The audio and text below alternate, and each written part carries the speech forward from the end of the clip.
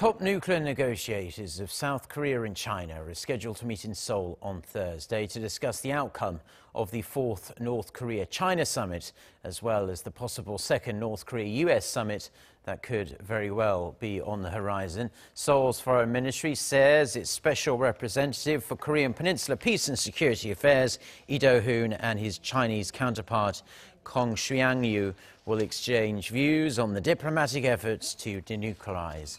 the Korean Peninsula.